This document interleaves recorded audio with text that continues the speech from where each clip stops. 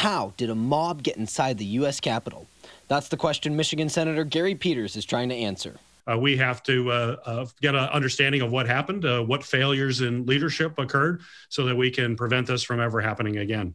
Peters, with other senators, announced hearings on and oversight of security failures on Wednesday, and he blames President Donald Trump. Because you'll never take back our country with weakness. You have to show strength and you have to be strong. For the violence that erupted.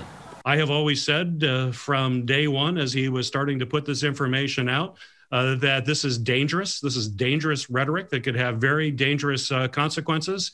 Uh, and clearly, uh, no one should question that now after we have witnessed this uh, violent attack on the Capitol.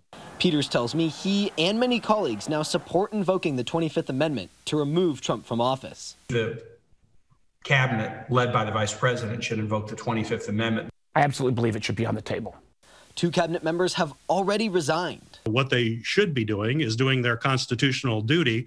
Uh, it is also, I think, imperative that we hold this president accountable and send a very clear signal to future presidents that this type of behavior will never be accepted. Peters hasn't spoken to other senators about impeachment yet, but when they were all hiding from Wednesday's mob, he said many of his Republican colleagues expressed anger toward the president.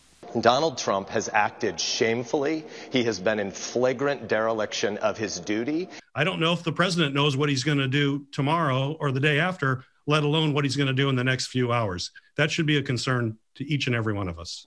Trevor Sahaki, WNEM TV 5.